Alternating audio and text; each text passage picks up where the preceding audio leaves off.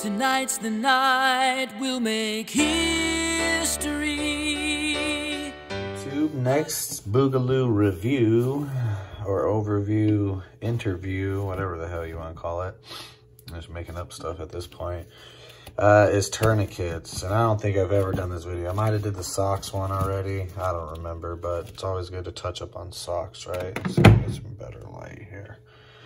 All right, so we got a rats and we got a cat T. Don't ask me what gen or any of that good stuff. Just knowing that I had this one for several several years. I use this little, I think this is a hair band or something of my daughter's to attach it to the uh, attachment spot. we'll just call it that. And um, the rats goes in a uh, pouch. I keep that in a little pouchy pouch on the H harness. Um, not gonna, maybe that would be a good video is to go through how to use these, but I believe both of these like Rats has their own videos on how to use this.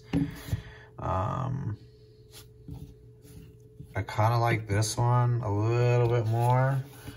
Um, knowing how to use them is, is key, whichever one you end up picking, but it doesn't hurt you to have, you know, one. Uh, maybe you could look on eBay, get a good deal, but these things can be very, very expensive. I've seen the new ones, the Gen, whatever they're on, and that thing was like 40 or 50 bucks, I think.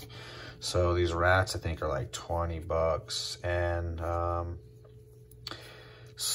basically the same principle, but you have to double this up to make, you know, a wide band like this um, when you do this one, when you do the rats. So um, Let's give you a definition, an exact definition, a device for stopping the flow of blood through a vein or artery, typically by compressing a limb with a cord or tight bandage. So here you got a cord, right, in that sentence, more or less, in the sense, with like a uh, locking piece or a, a thing to uh, hold it in place, you know.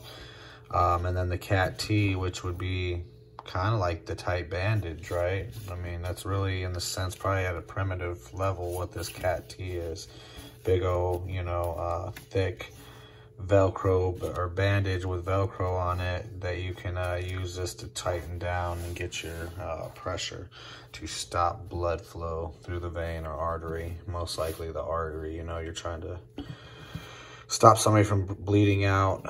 Um, these are good to have. It's not a bad thing to have either one. Like I said, these are cheaper. You know, watch their videos on how to use it. Practice on yourself. I practiced it on myself, and I think a couple people I practiced on it when I got it. That way, um, I knew how to use it, but it'd be nice to just do little refreshers on these, you know, every now and again. Um, practice throwing these on, but huge, huge in the Boogaloo review. Um, just up there with up there with life-saving like socks.